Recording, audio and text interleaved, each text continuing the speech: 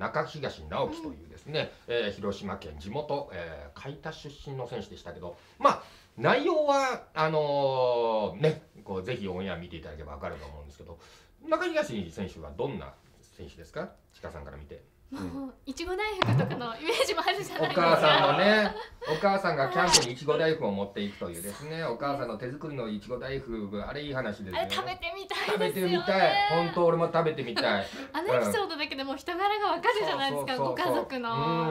うん。なおちゃんラーメンをね去年ねこの番組でね あの日南キャンプに行って、カープ選手が食べるなおちゃんラーメンっていうそれをずっと食べたかったら去年ね 念が叶った食べたんですか？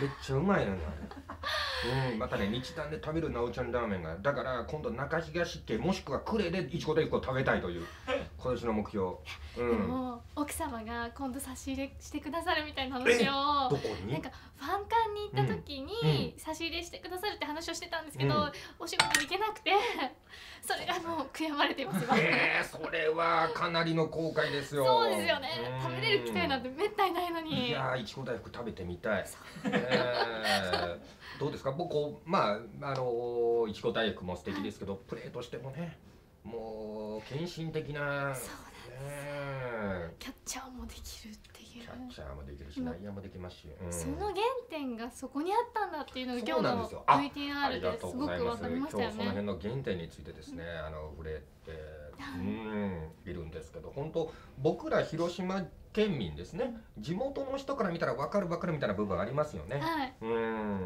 彼と市民球場についてのこの30年のドラマというものをね紡がしていただいたんですけども